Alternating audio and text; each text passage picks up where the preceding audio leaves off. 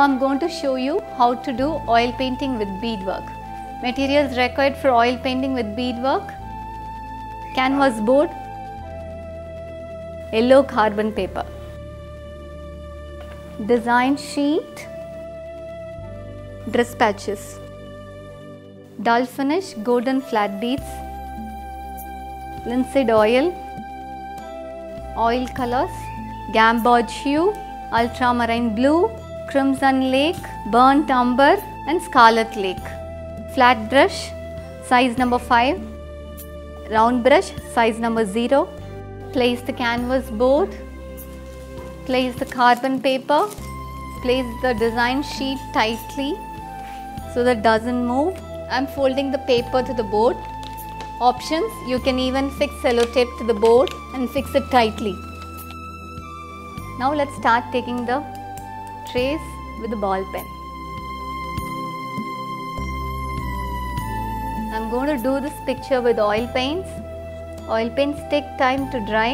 Once the oil paint is dried, you have to stick the beads. It at least takes 3 to 4 days to get dried.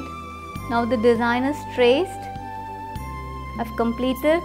Now let me check whether the design is traced well on the canvas board. Remove the carbon. Before you start the painting, I'm going to give impression to the bead area, thick impression so that it will be easy for you to identify where to stick the beads. Once you paint it, these impression will not be seen. Once the impression is done, I'm going to start coloring now. I'm going to take burnt umber, scarlet and gamboge hue. I'm going to take crimson lake for the basket and ultramarine blue for the background color. Take a fat brush. I'm going to start coloring. Okay, I'm just adding 2 to 3 drops of linseed oil for the free flow of paint. I'm using burnt umber for the center part of the skirt. You can't use water. Now clean the brush well. Just merge the two colors with the dry brush.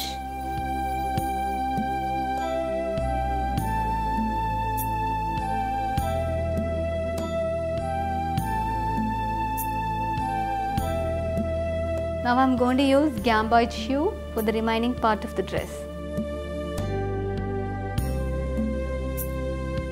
The paint should be evenly spread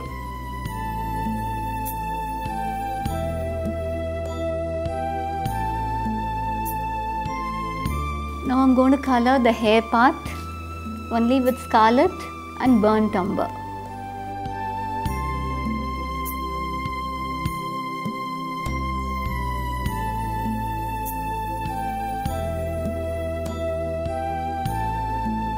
Now I've taken zero number brush for the final touch of the picture.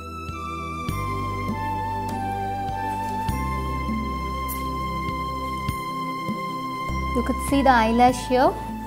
I'm just going to apply burnt umber for the eyelashes. The picture is almost getting ready. The painting part is over.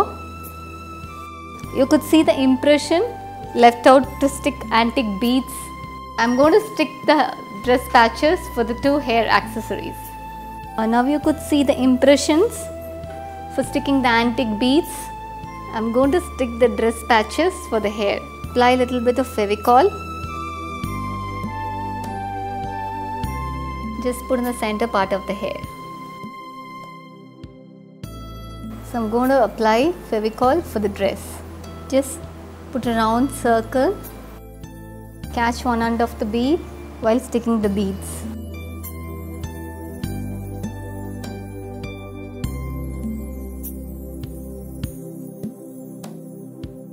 Applying one more circle for the inner.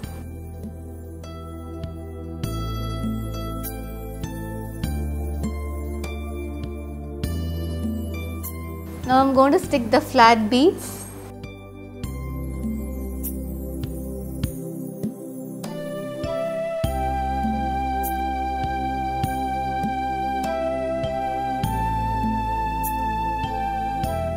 Once it dried completely, you have to remove this thread.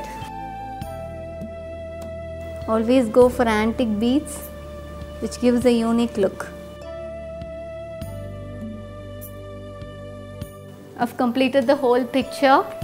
I've completed sticking uh, the beads for the dresses, for the hands, for the hairs. Keep a note, once the oil painting is dried, you have to stick the beads. I've used burnt umbers and for the body I've used gamboge hue and scarlet and for the hair I've used scarlet and burnt umber and for the basket I've used crimson and for the background I've used ultramarine. It's an attractive gift. It goes well with all backgrounds. If you frame it, it looks more beautiful and attractive. Place the canvas board, place the carbon paper, place the design sheet tightly, trace with a ball pen. Now let me check impression to the bead area Okay, I'm just adding 2 to 3 drops of linseed oil for the free flow of paint. Now I'm going to use gamboge hue for the remaining part of the dress. The paint should be evenly spread.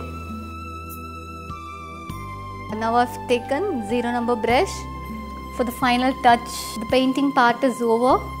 And now you could see the impressions for sticking the antique beads.